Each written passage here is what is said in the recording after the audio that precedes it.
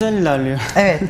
Ee, peki bu kadar sevilmesinin sebebi neydi? Nedenleri neydi kitabın bu kadar sevilmesinin? Konusu neydi? Konusu kitabın aşk ve duygusal üzeri, duygusal bir kitap. Bir kızla bir erkek birbirlerinden ayrıldıktan sonra tekrar mektuplaşmaya başlıyorlar. Ama mektup kitabın içinde asla kız ve erkeğin adı geçmiyor. Yani siz isterseniz kendinizi kızın yerine koyabiliyorsunuz, isterseniz erkeğin.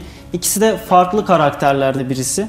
Mesela erkek duygusalken kız biraz daha rahat.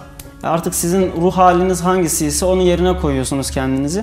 Ve o mektupları okuduğunuz zaman sanki siz yaşıyormuş gibisiniz. Yani aldığım tepkiler o yöndeydi. Bir de şu var. insanlar yani biz senin kitabını okuduk Fatih Bey. Ağladık. Gözümüzden yaş geldi. Bu aslında biraz insanı mutlu da ediyor, mutsuz da ediyor. Sonuçta sizi seven insanları ağlatmış oluyorsunuz bir nevi. Ama beğenilmesi çok hoş bir şey. Evet. Birçok sebebi olabilir. Evet. Peki e, yaşanmışlık var mı kitabın içinde?